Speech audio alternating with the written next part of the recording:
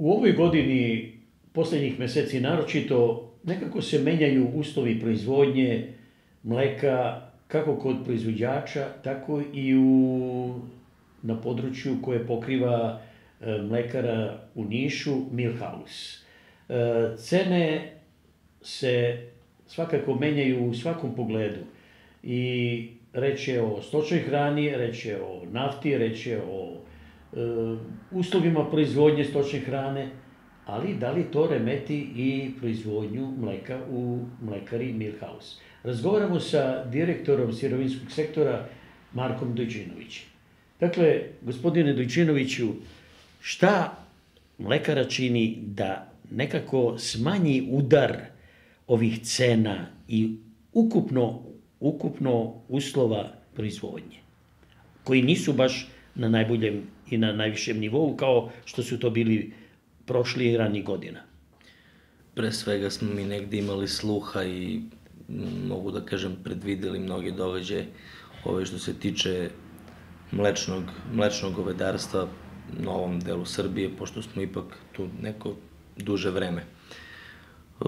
Kad je cel, krenula ca, cela ta priča sa poskupljenjem svih, da kažem, repromaterijala u proizvodnji sirovog mleka, kolege moji i ja smo obišli, da kažemo, ceo teren, sve velike proizvođače, negde vodili, da kažem, ozbiljne razgovore s njima, da im pokažemo da smo tu, da su sigurni da nećemo tek tako da se okrenemo i da odemo, jer ipak je duga saradnja iza, iza nas.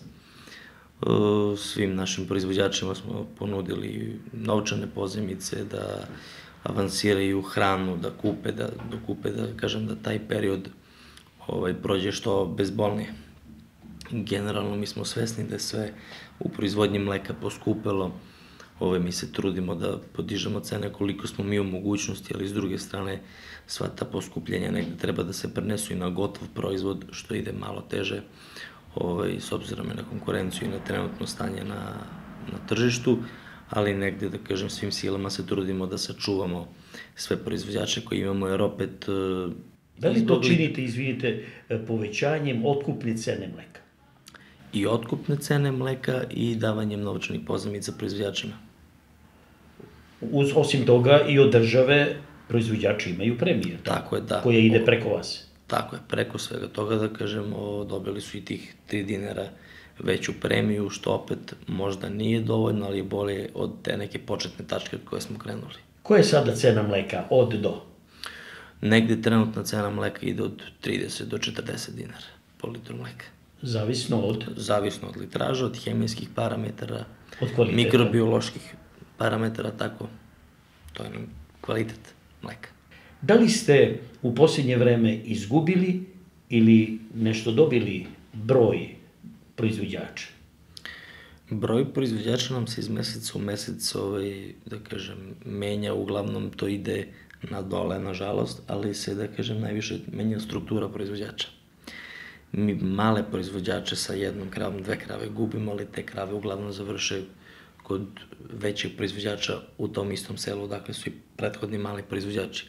To isto vidimo i po rashodnoj opremi, jer kako povučemo jednu, neku rashodnu opremu s terena, automatski nam ide na drugo mesto, čak nam je, odmah nam se kroz dan dva javi potreba za većim brojem uređaja, tako da dinamično jeste, ali za sad imamo i dovoljnu količinu mleka, broj proizvođača, kažem, varira, ali sve ide u tom pravcu, u tom ukrupnjavanju. Kolika vam je dnevna prerada mleka? Oko 85.000 litara dnevno. Pa to je sasvim zadovoljavajuće, rekao bih. Jeste kada. I za sad imamo potrebne količine. Gospodine Dočinoviću, šta očekujete do kraja godine?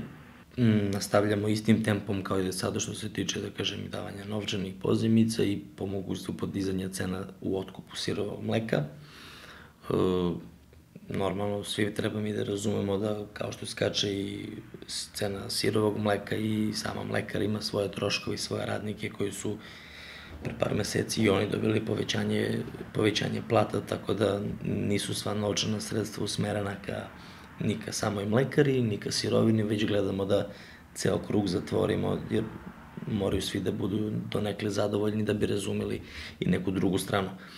Do kraja godine se nadam da ćemo Ovaj, to nisam napomenuo malo pre, može da bude interesantan podatak, pošto imamo dosta primetbi proizvođača na, na veterinare, na generalno osamenjavanje grla.